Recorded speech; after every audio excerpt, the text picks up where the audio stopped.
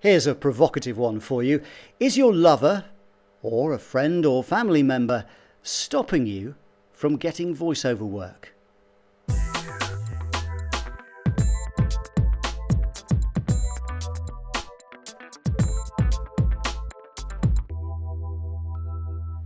Interesting question, isn't it? Why would someone you know and trust and love stop you from getting voiceover work? It doesn't make sense, does it? But I've had so many people contact me in the past who said, uh, Oh, really interested in doing voiceovers, and I've given a bit of background about what you should do, the steps you should take, and so on.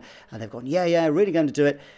And then a few weeks or months later, they come back to me and say, Oh, no, I decided not to do it.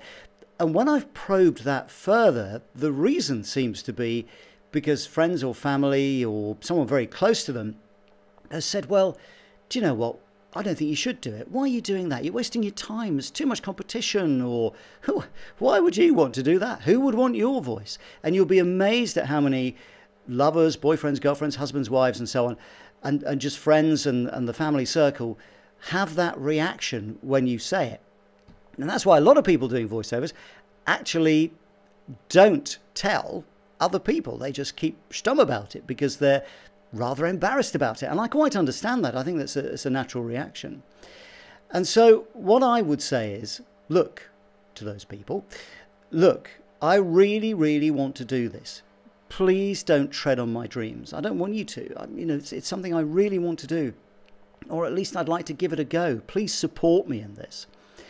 And you never know, they might come round to your point of view. Now, if you're lucky and you've got a really good supportive spouse or a, friend or relative, whatever, who is very supportive and will, really help you, then that's great. And those people are worth their weight in gold.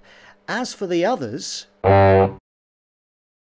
well, perhaps it is time to say goodbye to those people. I don't want to be accused of fueling divorce or anything like that, but by the same token, you need a cheerleader. You need someone who's going to support you through the good times and the bad in voiceovers.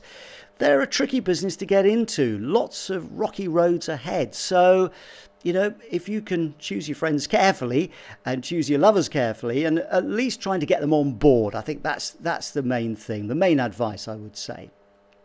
So, anyway, that's uh, the end of today's uh, rather spiky uh, voiceover masterclass. Thanks very much for watching today, and of course, look after your voice.